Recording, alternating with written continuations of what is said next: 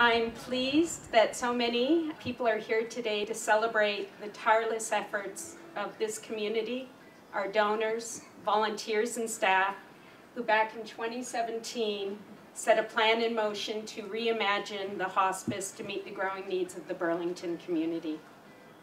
Today, we officially open the Angelo and Darlene Paletta Care Wing. The Palettas are devoted champions of the hospice, and their donation of $750,000 helped make the new wing possible.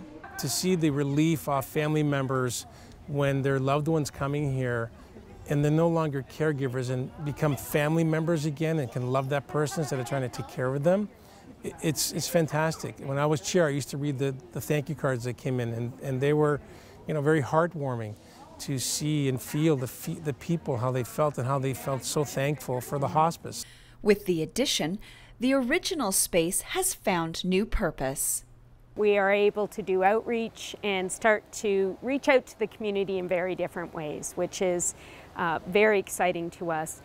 As people want to stay at home longer, as well as dealing with you know, bereavement and wellness and health and care, a lot of the stuff can be done outside, outside the hospice.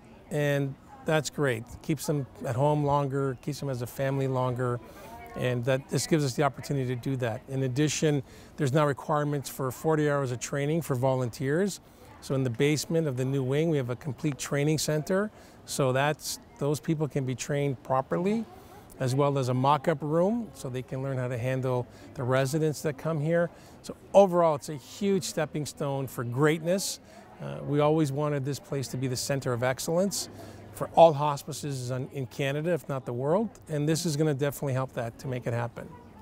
The additional 10,000 square feet boasts 11 large state of the art rooms. We have designed it with clients and families in mind. We are able to open the doors to allow beds out into our patios to see the, these amazing grounds.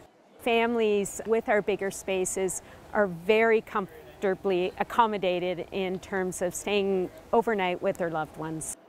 The families that would be with them would experience everything we have, all the, the love and compassion and our passion of the, the facility. Hopefully people can use it for the next hundred years and, uh, you know, pass on with dignity and, and as a family. Reporting for Halton News, I'm Nikki Wesley.